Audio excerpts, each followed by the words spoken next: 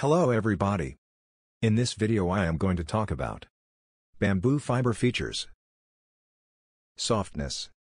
The fibers of bamboo are regenerated cellulose fibers, so they are soft and healthy for the skin like cotton.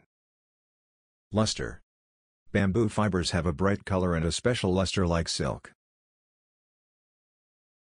Antibacterial.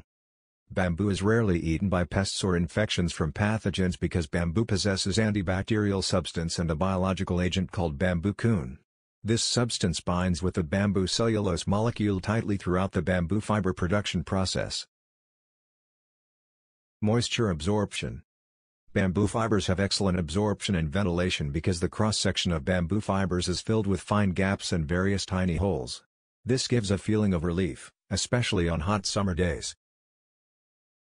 Anti-ultraviolet radiation. This property has differences around it. At the 235th National Meeting of the American Chemical Society, Apitian Sarkar of Colorado State University stated that the raw bamboo fabric allows nearly all harmful UV rays to pass through, and reach the skin. On the other hand, the viscose bamboo industry in China found that 100% bamboo fabric did not allow UV rays through when the UV fabric test was completed using the test method GB-T 18830-2002, Bambrotex 2008. Resistant to static electricity.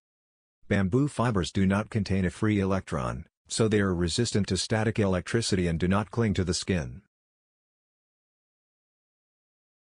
Durability Bamboo fibers are as durable as jute fibers.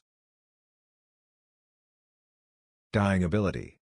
Fibers of bamboo have good dyeing properties and color fastness. Eco-friendliness. Textiles made from the bamboo fiber are biodegradable. It can be 100% decomposed in the soil by microorganisms and sunlight. Thank you for watching. If you liked the video don't forget to subscribe and share it with your friends.